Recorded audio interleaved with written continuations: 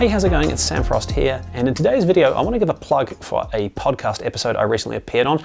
So, I recently appeared on a podcast called Marketing for Business. It's run by a guy, Scott Wilson, who is here in the same city as me, Christchurch, New Zealand. I've known Scott for quite a long time. He's been prominent in the digital marketing space, where I live at least, for a number of years now. And this podcast of his, Marketing for Business, is one of the most popular marketing podcasts in New Zealand, listened to by a lot of people and it's not just applicable to New Zealand, though, if you're listening from Australia, UK, USA, wherever, the advice, the information in the podcast is still going to be really good. Uh, and he's had some really interesting guests on over the years.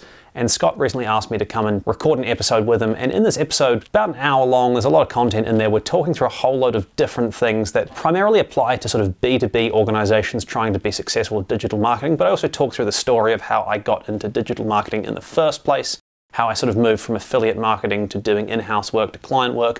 More importantly, there's a lot of kind of learning and insight around common pitfalls that I find business owners make with digital marketing, particularly in the B2B space.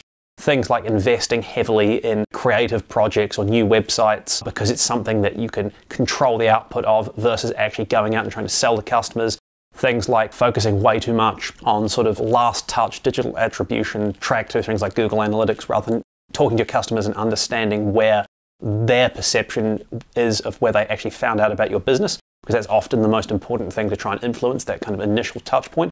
So go and check out the link in the video description. You can watch the video version, you can listen on your favorite podcast uh, or audio app, and basically it's well worth putting aside an hour in my view. Obviously, I'm a bit biased, but it's a good episode, and you might also like checking out some of the episodes of the Marketing for Business podcast as well. Thanks for watching. Hope you enjoy the podcast. Check the link in the video description below, and I'll see you for the next video here.